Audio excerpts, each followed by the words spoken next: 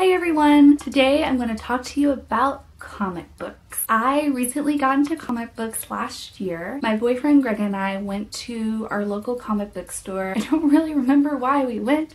I think Greg maybe wanted to pick up a comic book. I, I can't remember. But anyway, we came home with several comic books and I fell in love. I am a huge comic book fan now and I do have several series that I am reading at the moment. Today I'm going to talk to you about some of my favorite comic books. The first comic book I'm going to talk to you about is the one that got me into comic books and that is Thor, the Goddess of Thunder. So in this comic, Thor becomes unworthy of Mjolnir and a woman picks up the hammer and becomes the new Thor. Oh yeah. Lots of badass woman butt kicking happens in this comic, and it's great.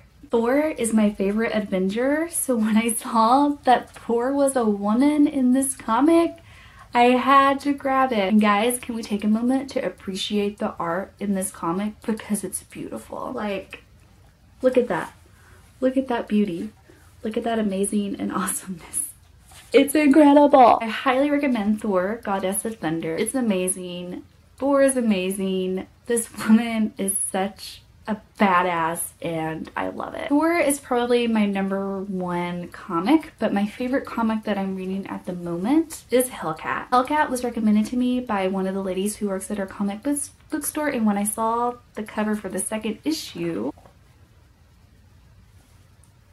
I had to get it. I honestly don't know much about Hellcat, but I absolutely love this comic. It's not very dark, it's very light and funny, and Hellcat is just amazing. She, like, I want to be Hellcat. She's amazing. Not only that, but She-Hulk is her best friend and She-Hulk is amazing. She's so good. She's awesome. In this comic, she's working with She-Hulk as um, kind of an investigator, but She-Hulk cannot afford to keep her on, so she basically fires her. So in the comics, Hellcat is kind of going from like job to job and she's really horrible at all of them, but she's really great at kicking butt. She decides that she's gonna start this uh, temp agency for people who have superhero abilities but don't want to be superheroes.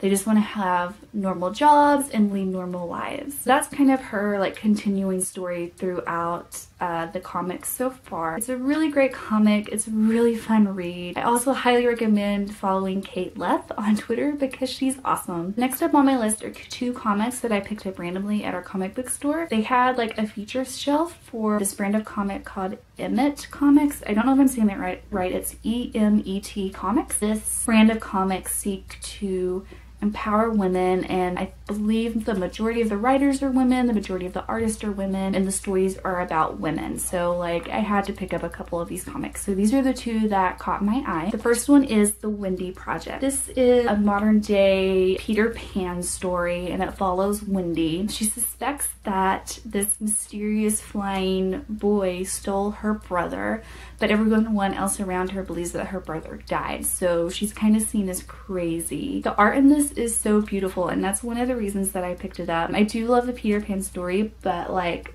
look at this you guys. This is beautiful. There is a second issue out but i don't have it yet. I just have the first issue. But after reading it i absolutely love it so far. And the second one that i picked up is helena rose. So i'm just going to read what's on the back of the comic because i think it's uh, a perfect explanation of what it's about. An alien prodigy must embark on an adventure through space to find a cure for her terminal illness. I was immediately drawn to this cover because it just looks really like feminine and cute. I don't know. I just I thought it looked really great. I wasn't as big of a fan of this one as I was the Wendy project, but I did still really like it. It follows Helena who has a terminal illness and she wants to seek adventure to find a cure. She believes that there's a cure in space for her. The artwork in this is also really beautiful. It's just like it's really, really good. There's not a second issue out yet of Helena Rose that I could see. I'm really looking forward to that because it ends on a cliffhanger. I'm gonna leave a link down below for Emet Comics, so if you're interested, please, please, please check them out. I think they're doing great work and these comics are really awesome. The next comic is one that I saw when I was at YALLWEST. I went to the Women of Marvel panel and they had a screen up of all of the comics currently out by Marvel that feature women. And when I saw this cover, I was like, I gotta go get that comic. That would be Spider-Woman. And look at her. She's pregnant.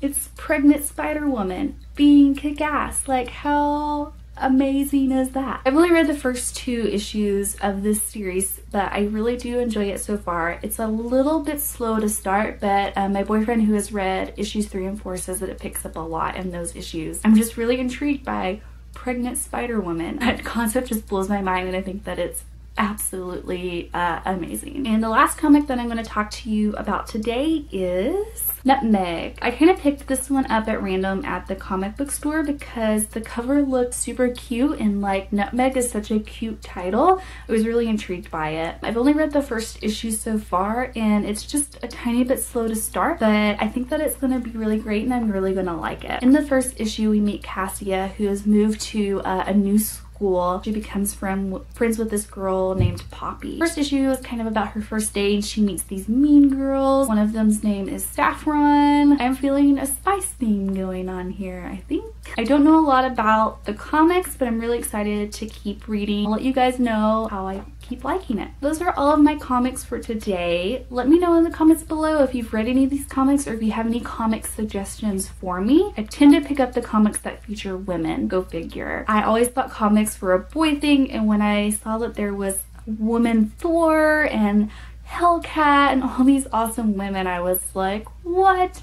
Comics are definitely for girls and they're all amazing. If you're wanting to get into comics and you're scared, I suggest just going to the comic book store and looking around and seeing what grabs your eye. Comics are about art and they're also about the story, but I feel like it's okay to judge a comic by its cover because if you're not intrigued by the art, you're probably not going to enjoy the story as much if you're not enjoying the art that's going along with it. Reach out to an internet community, ask questions. The entire Marvel universe, like scares me because there's just so much going on.